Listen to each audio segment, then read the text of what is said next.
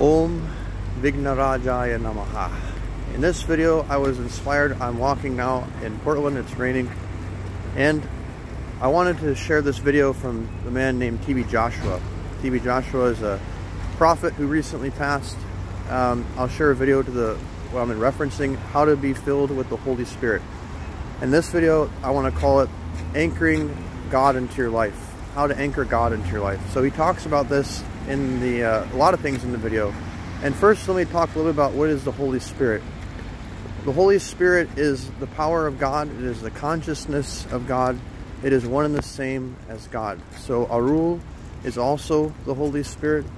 And he talks about the Holy Spirit as if you cannot be a Christian. And now, when I say Christian, take the word Christian and re replace it with anything that fits your faith.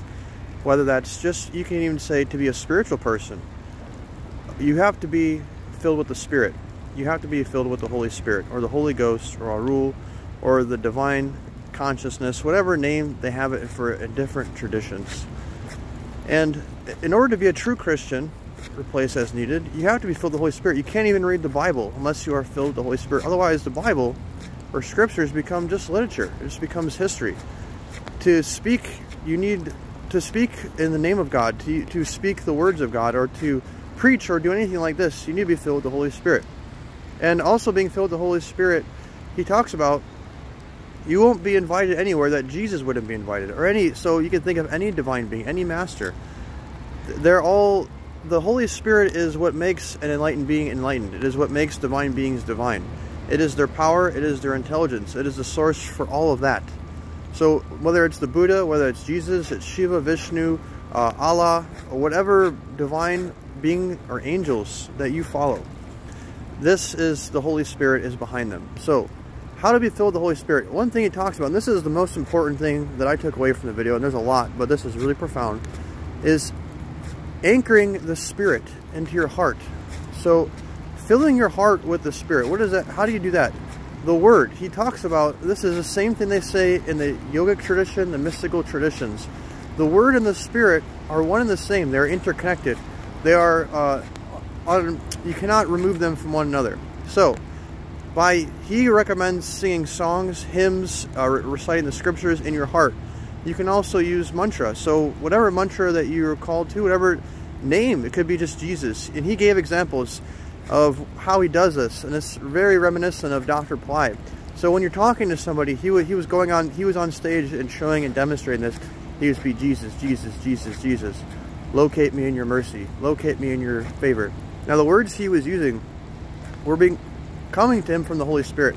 He was totally filled with the Spirit when he was talking. So when I was listening to him, I took them to be the words of God. And he talks very much about the heart and anchoring it. And so the concept is the Spirit needs something to anchor in you. So you need to have, use the Word so that the Word, they can anchor onto that and fill you. And he says to the measure and degree that you can do this is the measure and degree that you can get the Holy Spirit inside of your body and keep them there. And with this concept of anchoring, I am also reminded of the technology of uh, statues and images, also called as idolatry.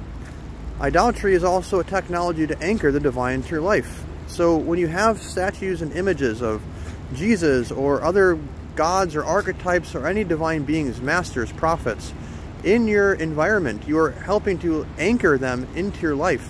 They have something to use. So in the mystical traditions, the statues are not just arbitrary objects, they're not inanimate objects. They are used to be filled with the spirit of the being. So the beings descend into the pictures, into the statues, and remain there. And you can offer prayers to them, they can communicate with you.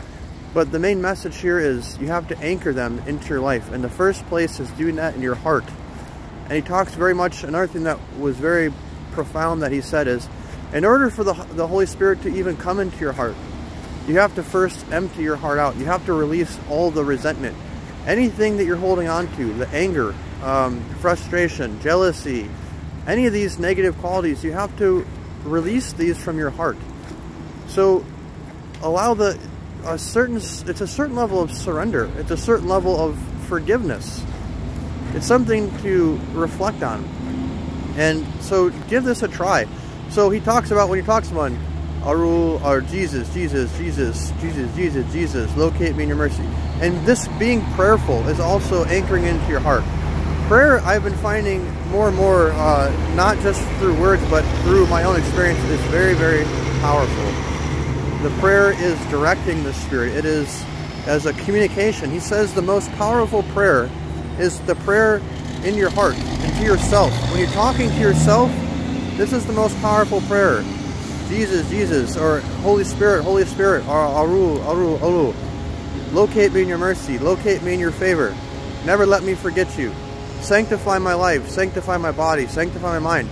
And he talks about when people come up to him and start talking to him, he says, I apologize if I don't respond right away because I'm busy. And he points to his heart. He's constantly in a state of worship. And this is the most powerful thing that he says is if you can control your heart, you can control everything. If you can control your heart, you will be filled with the Holy Spirit. So I wanted to make this video and see how it goes. Uh, let me know your feedback in the comments below if you found this helpful. And I do intend on making more videos about this video, which I will post a link to, how to be filled with the Holy Spirit. God bless.